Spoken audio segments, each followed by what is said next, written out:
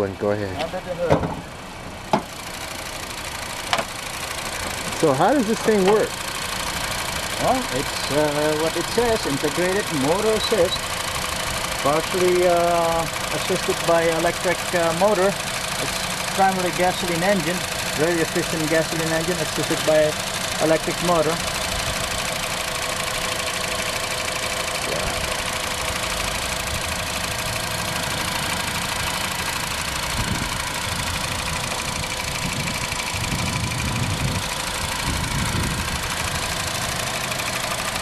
Future of automobiles.